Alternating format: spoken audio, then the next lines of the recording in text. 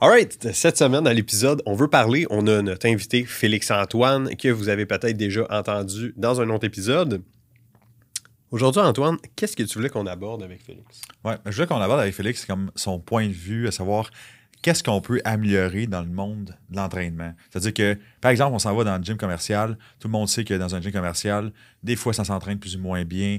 Euh, il y a peut-être des, choses qu'on fait comme au niveau des techniques d'entraînement qui sont moins bonnes, au niveau de la, biomécanique qui sont moins bonnes. Et donc, j'aimerais qu'on parle de ça. Qu'est-ce qui est possible de faire pour vraiment améliorer le monde du fitness, finalement, au Québec puis dans la francophonie, selon Félix? Donc, juste avant qu'on débute, c'est important, soyez attentifs. Le but du podcast, c'est de vous donner des tips le plus possible pour que vous puissiez vous améliorer. Ça se peut que vous nous écoutez, vous n'êtes pas coaché, rien là, par qui que ce soit, puis c'est bien correct. Mais au moins, vous pouvez vous servir de ce podcast-là pour aller chercher des trucs pour juste améliorer vos trainings. Donc, euh, Félix, quel genre d'erreur que tu vois le plus souvent dans les gyms? La première erreur ou la chose qui, me frappe le plus quand je vois, c'est euh, les gens qui vont se créer des douleurs parce qu'ils sont mal, les, exercices sont mal, le setup d'exercice, l'exécution de l'exercice est mal fait. Euh, celle qui me frappe le plus souvent, qu'on voit le plus, plus régulièrement, c'est au niveau des câbles, souvent. Les gens ne vont pas en le, le câble ou la tension musculaire avec justement le muscle qui va être visé. Exemple au chest souvent, on va voir, euh, c'est bien populaire ces temps-ci, faire du cable press au, au, parce que les gens voient ça sur les réseaux sociaux. Ils se sont fait dire que c'est plus efficace que des dumbbells, ce qui est une bonne chose jusqu'à un certain point. Mais les gens, ce qui va arriver souvent, c'est qu'ils euh, vont avoir les coudes trop bas, les coudes trop hauts, ce qui va faire en sorte qu'ils vont mettre plus de tension dans leurs articulations, dans les tendons des muscles, que sur le muscle visé, ce qui va faire en sorte qu'à la longue, ils vont peut-être se créer des, des petites douleurs. Je trouve ça bon que tu parles de douleur parce que c'est des fois j'ai l'impression que c'est aussi une raison pourquoi que euh, la, ceinture est autant utilisée dans les mhm. gyms. Dans le sens où que, euh, c'est facile de faire Ah ben là j'ai fait tel exercice, ça m'a fait mal dans le bas de dos, fait que je mets une ceinture. Mais le problème, si on va à la racine du problème, c'était pas de mettre une ceinture qui va. Mais c'est plus de corriger ton exécution finalement. Oui, effectivement. Mais surtout, quand tu parles de ceinture, si on parle, par exemple, d'un mouvement de squat ou d'un mouvement de squat ou un deadlift, un rack pull, les choses comme ça, bien, les gens vont penser qu'il y a plus de poids. Au, au de la technique, on va juste lever plus de poids, ça va donner plus de résultats. Mais tu vas les voir avec des dos de chat, tu vas les voir avec euh, des squats où est-ce qu'ils sont quasiment rendus en pancake, en crêpe, dans le bas du mouvement. Puis là, ils pensent qu'en mettant une ceinture, ça va faire. Ça va venir patcher, excuse-moi l'expression en anglais, ça va venir patcher un peu leur mouvement. Mais comme tu fais, comme tu dis, ça va juste créer une béquille. Puis il va faire en sorte que si à un moment donné, ils ne l'utilisent plus, ben, ils, vont se rendre, ils vont se rendre compte qu'ils sont ils vont se blesser ou ils vont, vont penser qu'ils ne seront pas capables de faire le mouvement, alors qu'au final, si tu fais juste diminuer ton poids, améliorer ta technique, mieux enligner euh, tes genoux, tu, vas avoir les genoux qui vont rentrer en dedans sur un squat, des choses comme ça, ben, si tu les laisses à la bonne place, tu vas avoir autant de résultats, tu vas aller chercher un recrutement qui va être aussi bon, puis en plus de ça, ben, tu vas utiliser une charge qui va être beaucoup moins élevée, qui va donner, comme je disais, le même nombre le, même résultat, mais tu vas limiter tes, risques de blessures ou de complications, tu des douleurs aux genoux, douleurs aux épaules, douleurs aux coudes, douleurs aux, poignets, peu importe le mouvement. Mm-hmm. Ça peut être une des raisons principales qu'un mouvement qui est répété de la mauvaise façon très très longtemps va faire en sorte que ça va nous créer des douleurs ou des, des problèmes. Puis juste pour que tout le monde comme saisisse le, qu'est-ce que tu viens de dire, c'est que dans le fond, on n'a pas besoin de faire des hautes répétitions nécessairement. Le but, c'est comme exemple, parce que souvent j'entends dire que ah, faut faire des, faut pas faire des basses répétitions si on est plus prompt aux blessures, par exemple. Donc, qu'est-ce que tu es en train de dire finalement, c'est comme OK, c'est, c'est pas les nombres de répétitions finalement ou la charge qu'on va prendre, c'est plutôt l'exécution d'exercice qui va faire une différence. Parce qu'on s'entend que en musculation, ça va être le sport le plus sécuritaire qu'il n'y a pas. C'est-à-dire que tu bouges de façon unilatérale souvent, dans un plan de l'espace. Il n'y a pas de changement de direction, il n'y a rien. Tu es super stable. Donc, c'est un peu ce que tu dis finalement. Exactement. Ben, ils vont avoir le même nombre de résultats, puis ça va être une charge qui va être moins élevée, mais c'est vraiment l'exécution du mouvement qui va amener une progression beaucoup plus intéressante que si on va avec la charge en, général. C'est là où est-ce que les gens mettent leur exécution de côté, vont rentrer un petit peu plus d'ego, va faire en sorte qu'à la longue, ben, ils vont avoir des blessures, puis ils vont se blesser parce que justement, c'est mal exécuté. Les mouvements, quand ils sont bien exécutés, ils ont été pensés. Ça fait des années que les gens s'entraînent. Ça a été corrigé. Il y a eu des, analyses, des études qui ont été faites. C'est pas normal que tu te blesses en faisant une machine hack squat, par exemple. Mais il y a mm. peut-être une raison pour laquelle tu t'es fait mal au genou, tu as mal au genou en le faisant. C'est peut-être ton exécution qui va être à revoir. Corrige ton exécution, puis tu vas te rendre compte que ah, je suis pain-free, puis ça va être pas mal plus plaisant parce que tu vas aller au gym, tu n'auras pas toujours mal où tu vas pas te prendre trois heures à te réchauffer, où tu vas pas être obligé de te mettre des sacs de glace sur les articulations quand tu vas t'en aller du gym. ça va être aussi efficace, ça va vraiment être l'intention de mouvement puis l'exécution qui va être plus, important que la charge en tant que telle. Mhm. C'est sûr que c'est des tips pour justement améliorer notre exécution à travers l'entraînement. Y a-tu des trucs que tu peux dire en général, comme si vous faites ça, ça va bien aller, puis en général, ça va être. Mais le truc que moi, j'aime penser quand je fais un- une exécution de mouvement, je veux que si je filme mon, mouvement, je veux que la première répétition, soit identique à la dernière. Même la dernière qui va souvent être proche de l'échec musculaire, des choses comme ça, où est-ce que les gens commencent à avoir plus de difficultés.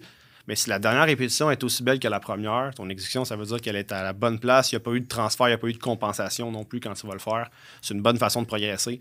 Euh, surtout que les trépieds sont très, très populaires ces temps-ci dans, dans les gyms. Les gens se filment pour les réseaux sociaux, pour leur plaisir personnel, pour pouvoir se corriger. Mais c'est sûr et certain que ça soit une, une copie conforme de la première à la dernière répétition, ça va être une bonne chose. S'assurer qu'à chaque fois qu'on progresse de charge, qu'on ne mette pas l'exécution de côté parce qu'on rajoute la charge. Fait que c'est vraiment continuer de la même façon, garder toujours la même exécution. Euh, évidemment, mettre l'intention de mouvement dans le bon muscle. Si tu sens le, muscle, le bon muscle travailler, c'est un autre bon indice aussi que tu fais ton, ton mouvement de la bonne façon puis tu vas pouvoir progresser euh, sans douleur. là. Puis là, Félix, j'aimerais ça que tu m'expliques un peu comme comment qu'on peut faire. Exemple, j'arrive dans un gym, je suis débutant, je sais pas trop comment exécuter un mouvement. Mettons, on va prendre le row. Qu'est-ce qui peut être difficile parce que finalement, on peut travailler le lats, on peut travailler le upper back, on peut travailler à la limite le bicep aussi. Donc, j'aimerais ça, mettons, que tu m'expliques vraiment c'est quoi concrètement dans le gym qu'on peut faire. Exemple, je travaille mon lats sur un row. C'est quoi les cues qu'on pourrait mettre en place pour vraiment bien sentir puis vraiment bien travailler le muscle? Parfait. Ben, c'est sûr que pour les exercices de dos en général, c'est toujours penser de tirer à partir du coude. Euh, le truc que je peux donner, c'est penser qu'il y a une ficelle qui est attachée en arrière de ton coude, puis on tire sur la ficelle. C'est vraiment le coude qui va initier le mouvement. Euh, ça peut être le premier, le premier truc que je peux donner. Euh, pour un lat, par exemple, un lat row, ben, on va penser à abaisser l'épaule en tirant, puis en pensant à amener le coude vers la hanche quand on va tirer. Vraiment s'assurer d'abaisser l'épaule pour bien sentir son lat. Autre chose qui va être important aussi, euh, on veut s'assurer que notre coude ne dépassera pas le torse. Si on dépasse notre torse, on va peut-être transférer l'attention un peu plus dans notre upper back et des choses comme ça. Si on veut travailler notre lat, on s'assure d'abaisser notre épaule en tirant. Je peux avoir de le faire en deux mouvements, vraiment en tirant, on abaisse notre épaule, on pense à amener notre coude un peu comme dans notre poche arrière de pantalon sans dépasser notre torse, ça pourrait être une bonne façon. C'est sûr qu'on va sentir notre lat dans, dans cette façon-là. On va travailler les deux fonctions du lat. là. Puis Tu sais, des fois, tu dis, tu dis des débutants, Antoine, mais honnêtement, il y en a qui pensent qu'ils sentent leur latte. Oh, ouais, je le sens, je le sens. Non, non, non, je, je le sens bien. Puis là, on arrive avec ces culs-là, on abaisse les épaules, on amène le coude jusqu'à la hanche. Puis même, j'aime ça en plus donner comme le petit truc de ramener ton coude un peu vers l'intérieur à la fin. Puis là, ils sont comme, OK, non, je le sentais pas pantoute dans le fond. Là, comme ils viennent de découvrir leur lats pour vrai, pour la première fois. Puis là, je parle à des clients qui sont qui étaient quand même, ils avaient une bonne shape, là, puis tout, mais là, là, le Mind Muscle Connection vient. C'est fou les, les rows, comment est-ce qu'on a. euh, ça fait une grosse différence. ça. Ah, mais c'est fou, parce que tu peux faire ton row comme de plein de façons, tu sais. C'est souvent l'erreur qu'on voit, c'est vraiment la personne va s'installer, puis qu'est-ce qui est facile, c'est juste d'amener la main à l'épaule. Donc, la personne va tirer de la main à l'épaule. Mais là, c'est pas ça que tu veux travailler. Ça, c'est du bicep. D'autres, on va travailler, par exemple, les lats. Donc, c'est vraiment important que, tu sais, pendant le mouvement, comme Félix l'a dit, on veut vraiment que l'avant-bras soit tout le temps parallèle au sol, tu sais, pour justement pas engager le bicep dans notre row. Puis après ça, on amène le coude vers la hanche, tu sais. Donc, c'est comme ça qu'on va pouvoir maximiser vraiment le, le lat, tu sais. Fait que, tu sais, quand même que vous soyez intermédiaire, euh, débutant, avancé, prenez les trucs de Félix. Vous pouvez même reculer le podcast puis aller réécouter les trucs qui viennent de dénoncer. Appliquez ça au gym, puis c'est clair, vous allez voir une différence. Ça peut juste vous aider à mieux sentir, euh, vous sentir vos lats. Puis si on continue, mettons, d'autres exercices qui sont des fois comme que je vois dans les gyms commerciaux que ils pourraient juste être mieux exécutés, comme ça la personne pourrait mieux sentir leur muscle. Par exemple, style euh, un high cable crossover. Pourrais-tu juste comme décortiquer, dire c'est quoi probablement un high cable crossover? Il y en a peut-être qui font comme quoi ça, puis euh, expliquer peut-être des tips aussi pour mieux sentir. Bien sûr, ben, high cable cross- crossover, on parle d'un mouvement où est-ce qu'on va avoir les poulies dans le haut. Un, stack de poulies, de deux poulies ensemble qu'on va mettre. la poulie va être dans le haut, puis on va venir s'avancer, puis on va venir un mouvement de, fly, dans le fond, vers le bas un peu. Les gens vont venir sentir leur, leur chest de cette façon-là. Ben, si tu le sens, évidemment. Euh, le truc que je pourrais. La première chose qu'on va s'assurer de le faire en faisant ce mouvement-là, c'est pas de reculer trop loin en faisant le mouvement. Souvent, les gens ont l'impression qu'en faisant leur crossover, ils vont remonter vraiment jusqu'en haut de la poulie, dire Ah, je sens vraiment mon chest va s'étirer. Ce que ça va faire souvent, c'est qu'ils vont perdre la tension dans leur pec. Ils vont transférer ça peut-être au niveau d'une autre articulation de leurs épaules. Ça va être la première des choses, s'assurer qu'on va pas trop loin. Comment, savoir si c'est trop loin, trop proche? Ben, c'est sûr et certain qu'on peut faire le test en faisant le mouvement, pas nécessairement avec une charge élevée, mais il y a un certain moment où est-ce qu'on serait plus capable de, contr- de contracter notre chest à ce moment-là. C'est de revenir juste un peu avant ça. pour pouvoir faire le mouvement. Puis c'est aussi de s'enligner avec la fibre du pec qu'on veut travailler. Sais, vraiment, si on regarde de côté un crossover, on va vraiment s'enligner du haut vers le bas. Fait que c'est s'assurer euh, de penser à s'en venir dans le même axe que notre fibre de, de pectoraux qui va être euh, de haut vers le bas. Ça peut être une deux- le deuxième truc. Puis surtout, s'assurer de penser à rentrer le bicep dans le pec et non ramener les deux mains ensemble. Souvent, tu vas voir des gens qui vont faire euh, des caresses que j'appelle comme ça, là, en avant, qui vont juste ramener leurs deux points ensemble, alors que tout ce qu'on veut penser à faire, c'est rentrer vraiment notre bicep dans notre pec pour vraiment sentir une bonne, une bonne contraction musculaire. là. C'est ça que j'aime ça dire aussi, sors les- le, le chest. Ouais. Parce que souvent, en sortant de chest, c'est en arrière que ça vient stabiliser. Mhm. Mais là, des fois, hey, stabilise tes omoplates. Sors le chest, puis des fois, le travail se fait bien. Puis j'aime ça, exactement ça. C'est un excellent truc aussi là, de, de- de penser à coller le bicep sur le chest pour bien le sentir. Puis là, je vais élever le, le- le- le volume, le- pas le volume, mais le niveau aussi de difficulté de- de- d'exercice. Un exercice qui pourrait être une bête noire, entre guillemets, là, le rolling in deadlift. Tu sais, ça, c'est un exercice avec, avec les clients, souvent. On, on faut leur passer souvent parce que. Puis moi, moi le premier, là, je me rappelle, parce que comme toi, j'étais client aussi avant même de travailler chez Quantum. Et que je l'ai regardé souvent avec Jacob, cet exercice-là. J'étais pas sûr, je le sentais pas bien dans mes ischios, puis ça me faisait mal au bas de dos. Fait que ce serait quoi les. Premièrement, c'est quoi cet exercice-là? Comment est-ce qu'on l'exécute? Puis les tips après. Ben, Roman deadlift, ou euh, j'aime euh, j'aime aussi dire le deadlift jambes tendues. là. C'est souvent déjà vu. Souvent, euh, c'est un mouvement où est-ce qu'on va euh, faire un deadlift, mais on va pas plier nos genoux. Fait souvent, les gens l'appellent le deadlift jambes tendues, Romanian deadlift. Ça se ressemble beaucoup au niveau du, nom. Mais le truc que je peux donner ou la manière de l'exécuter, moi, ce que j'aime faire, c'est le décortiquer. Euh, c'est vraiment un mouvement de la hanche, dans le fond, de flexion, d'extension de la hanche.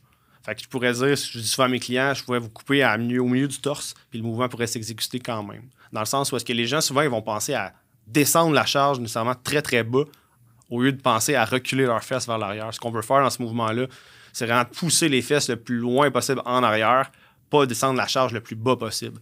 Le, cue visuel, le truc visuel que je peux donner aux gens, c'est de penser qu'ils veulent vraiment fermer une porte si, avec leurs fesses. Un peu comme si tu avais les mains pleines de sacs d'épicerie ou quoi que ce soit, puis tu voudrais fermer une porte ou une porte d'auto. Mais tu pousses les fesses vers l'arrière vraiment pour donner un coup, si on veut, pour fermer la porte. C'est le meilleur truc. On pousse les fesses le plus loin possible en arrière. Il va venir un moment où est-ce qu'on ne pourra plus reculer les fesses. Si on va continuer à reculer, c'est le dos qui va descendre. Fait qu'on recule les fesses. Quand on n'est plus capable de reculer les fesses, à ce moment-là, ça veut dire qu'on a atteint le, bas du mouvement. Puis en remontant, on va penser à pousser les hanches le plus fort possible vers l'avant pour remonter la charge. Euh, en gardant évidemment les genoux le plus tendus possible. On ne veut pas que les genoux plient à aucun moment du, mouvement. On veut vraiment les garder. Ben, pas plier. On peut les, on peut les plier, les plier une petite affaire. On ne veut pas avoir les genoux barrés, barrés, barrés. Mais vraiment s'assurer que les genoux plient le moins possible. Ah, c'est vrai ça, parce que c'est pas nécessairement qu'on remonte vers le haut, mais le fait qu'on ramène la hanche vers l'avant fait que le tronc se remonte, tout simplement. Fait que c'est de penser, j'aime ça, comme, comment tu dis ça, c'est vraiment de penser que c'est un mouvement d'arrière vers l'avant et non d'en haut en bas. Ça fait une grosse différence, définitivement. Puis un point technique aussi qu'on peut ajouter comme au niveau des jambes. Donc c'est bon, comme tu as, dit le truc dans le fond de se filmer tantôt, mais comme se filmer au niveau des vidéos d'exécution, ça peut être super intéressant. Puis quand on se filme de côté sur le RDL, qu'est-ce qu'on veut, c'est vraiment que le tibia soit perpendiculaire au sol. Si vous reculez les fesses, puis le tibia, vous voyez qu'il il campe vers l'arrière, donc vous, shiftez votre poids trop vers l'arrière et donc là, vous réduisez la tension dans l'ischio. Donc, être important que quand vous poussez la hanche vers l'arrière, le tibia reste parallèle, euh, perpendiculaire au sol. Donc, c'est un point cue visuel aussi que vous pouvez déterminer pour vraiment améliorer votre, la tension finalement que vous générez dans, par exemple, l'ischio-jambier. Puis y a-tu un autre euh, exercice, toi, Antoine, que tu as vu dans les gyms que- qui pourrait clairement mieux être exécuté? Ben, tu sais, dans le fond, les, exercices, là, clairement, que c'est tout le temps, euh, tu sais, avec la poulie, là, je, vois tout le temps ça, des, des trucs, souvent le monde vont bandir avec la poulie, comme les triceps push down, les curls, les crossovers, les chest, les rows, tous les trucs avec la poulie, je trouve ça incroyable à quel point c'est mal fait. Le positionnement est mal fait aussi. Donc, je pense qu'on peut vraiment, comme, je sais pas, si Félix, tu as vu ça dans les gyms comme ça aussi, je sais, des fois, tu t'en- tu t'entraînes pas juste chez Quantum, là, mais je sais pas si tu as déjà vu des, des exercices qu'on peut améliorer finalement au niveau des poulies, parce que moi, je vois tout le temps ça à chaque fois qu'on dit que ça. Ou genre, tu sais, le lat pull down, c'est fou. là. Ben, le push-down, le tricep push-down, là, c'est un des mouvements que je vois qui est le plus botché. Pourtant, c'est un mouvement qui, qui, à la base, semble simple, mais les gens vont souvent, euh, comme tu dis, bouncer ou donner un coup avant de faire le mouvement. Ou sinon, ce que je vais voir souvent, ils vont se pencher bien gros par l'avant. Ils vont servir de leur contrepas du torse pour pouvoir venir descendre la charge. Évidemment, ben, l'autre chose que je vois, c'est qu'ils vont pas venir barrer le coude aussi. Ils vont mettre lourd, ils vont juste finir un peu le, le coude pas barré en bas du mouvement, puis en mettant leur torse vraiment penché vers l'avant. qui va faire en sorte que c'est quasiment le contrepoids de leur corps qui va les aider à bouger. Alors que si on les fait vraiment se mettre droite, les coudes vers l'arrière, qui ne bougent pas, c'est vraiment juste une extension du bras, va avoir autant de recrutement du triceps, puis le poids va diminuer aussi. Euh, ça peut être un autre exercice qui est, très, très mal exécuté en tant que tel. Même chose avec le, curl. Si on parle des bras, on a le triceps, mais on peut avoir un curl à, la poulie standard. les gens vont bouger les coudes, les gens vont se donner un swing, un peu comme avec une barbell, mais on dirait qu'avec une poulie, c'est encore pire. Étant donné que la poulie va les tirer un petit peu vers le bas dans un dans un axe fixe, quand ils vont vouloir remonter, ils vont se donner un coup vers l'arrière. Euh, puis ils vont soigner, puis sinon les coudes vont vraiment beaucoup avancer vers l'avant, ça va quasiment être rendu, la barre va être rendue jusqu'au front, là. C'est pas mhm. vraiment utile. C'est quoi ton truc pour vraiment améliorer, comme par exemple les curls à la poulie? parce qu'on s'entend que finalement pour ta biceps, c'est juste une, flexion du coude. Ben, c'est sûr de garder les, bras de chaque côté du corps qui ne bougent pas. C'est vraiment de penser que la fonction qu'on veut travailler, c'est une flexion du coude. Donc, tout ce qui va se faire autre qu'une flexion du coude, ça va être inutile, ça va créer de la fatigue ou ça va transférer l'attention à mauvaise place. Vraiment mettre les coudes, penser qu'ils sont driller dans le ciment ou driller sur le bord de notre corps. Vraiment s'assurer qu'on vient penser à amener l'avant-bras vers le biceps et non pas monter le bras vraiment vers la face ou vers le, front en tant que tel. Ça peut être une bonne chose. Puis de contrôler la charge de haut en bas aussi. Souvent, les gens vont aller en concentrique, mais en excentrique, ils vont laisser la charge tomber. Mhm. Puis là, ça va bouncer en bas. Ils vont se donner un momentum puis ils vont remonter aussi. C'est vraiment contrôler la charge à chaque moment du, à chaque moment du curl. Je pourrais demander à la personne d'arrêter le mouvement parce qu'elle est capable de la contrôler. Ça peut être un bon truc aussi pour s'assurer que notre exécution est A1. Rentrer de la contraction volontaire, je trouve ça quand même assez important dans le bas du mouvement, de penser à, par exemple, sur un curl, contracter le bicep, puis après ça, faire ton curl. Ça a une grosse différence aussi au niveau du ressenti. Ben, l'intention de mouvement, c'est toujours euh, très, très important. Peu importe le mouvement, on parle des bras, mais que ce soit des quads, ou quoi que ce soit. Là. on s'entend pour gagner l'hypertrophie, pour faire l'hypertrophie, ça prend deux choses. On a besoin de recrutement d'unité motrice. Donc, le plus possible de fils musculaires sont activés. Donc, ça, on peut faire ça volontairement. Fait que plus vous allez penser justement à contracter votre masse musculaire, plus vous allez recruter des unités motrices, donc le nombre de fils musculaires vous engagez. La deuxième chose qu'on a besoin, c'est de la tension mécanique. Donc, ça prend une, certaine charge, mais de façon contrôlée. Donc, si vous n'arrêtez pas de bander votre mouvement, comme euh, par exemple au niveau de la poulie, il y a un certain moment donné, vous allez éviter d'avoir la tension dans le mouvement. Donc, ça vous éloigne complètement de votre objectif de l'hypertrophie. Donc, c'est important de maximiser la tension musculaire dans tout le, temps de, l'exercice et justement de mettre la plus d'intention possible pour faire le mouvement avec le muscle qui est ciblé. c'est tellement vrai. Puis c'est drôle parce que, tu sais, comme avec Philly, on parlait de ça à un certain moment donné. Puis, tu sais, c'est un gars qui a appris à tellement bien sentir ses muscles. Mm-hmm. Fait qu'en sentant bien ses muscles, en faisant des bonnes contractions, le recrutement d'unité motrice, il est encore plus augmenté, là, finalement. Fait que définitivement que ça l'aide dans l'hypertrophie. Puis tu demandes à Philippe, là, sais, oui, il est fort. je veux dire, mon Dieu, c'est un, un gorille. je veux dire, euh, il est vraiment. C'est sûr qu'avec le temps, puis tout, il est devenu excessivement fort. Par contre, c'est pas le gars le plus fort du monde non plus. Là. Absolument pas. Il s'entraîne intelligemment. Il a toujours été reconnu pour ça. Puis, je veux dire, il a gagné cette fois Monsieur Olympia aussi. C'est un freak. Je veux dire, quand je veux dire par freak, c'est comme c'est quelqu'un qui a une génétique incroyable. Par contre, ça a un impact de s'entraîner intelligemment. Là, mm-hmm. Donc, euh, pour avoir cette shape-là, il faut que tu sentes chacune de tes de chacun de tes muscles, tu les sentes numéro un. Philippe, il va avoir une génétique, mais il faut quand même qu'il y ait une exécution, exécution pour qu'il sente chacun de ses muscles. Qu'est-ce que tu dis, c'est 100% vrai. Là. Mm-hmm. Définitivement. J'aimerais savoir, Félix, c'est quoi ton exercice préféré pour n'importe quel groupe musculaire? C'est quoi tes, tes exercices que tu sais que c'est les meilleurs pour l'hypertrophie, pour toi? Ben, j'ai une belle relation amoureuse avec le hack squat, la machine hack squat. C'est quoi la tune qu'il faut absolument que tu écoutes à toutes les fois que tu fais du hack squat? La tune qu'il faut que j'écoute à toutes les fois, c'est drôle, mais c'est vraiment, c'est pas une rumeur. Hein. J'écoute ça sur repeat. J'ai une playlist dans mon téléphone. Il y a juste cette tune là Exactement. Puis sur, tu sais, la petite icône qui fait que ça rejoue sans arrêt, c'est Many Men de 50 Cent. Je sais pas pourquoi. C'est pas trop intense, c'est pas trop smooth, c'est juste assez, mais j'écoute ça sans arrêt. Fait que c'est vraiment une belle relation amour-haine. C'est très, très demandant, mais pour les quads, je trouve que c'est vraiment un exercice incroyable. Tu es super stable, tu peux charger avec une bonne exécution, tu n'as pas de risque de blessure non plus. Euh, celui qu'on a chez Quantum est assez demandant aussi. C'est un, hack squat pour les hommes. tu mieux avec ou sans bends? Il y a un moment pour les deux, je te dirais, mais avec les bends, ça vient être intéressant parce que ça va vraiment piquer le mouvement exactement où est-ce qu'on veut le travailler, dans le mid en tant que tel. Mais sinon, euh, que ça soit avec ou sans bends, je l'aime bien gros. Ça, c'est sûr et certain. Excellent. Fait que ça résume un petit peu. J'espère que vous en, ressortez avec beaucoup de valeur puis des choses que vous pouvez appliquer dès aujourd'hui au gym pour mieux sentir vos muscles puis mieux exécuter les mouvements. Vous ayez moins de blessures, vous sentez mieux vos muscles, plus d'hypertrophie, juste des bonnes affaires finalement. Fait que merci de nous avoir écoutés. Puis euh, si vous voulez nous faire un 5 étoiles sur Spotify, si ce n'est pas fait, Partagez sur vos réseaux sociaux. Envoyez un collègue, un ami, un cousin, n'importe qui. Ça peut être, euh, ça serait excessivement apprécié. Donc, merci de vos écoutes, puis on se parle dans un prochain épisode. Salut!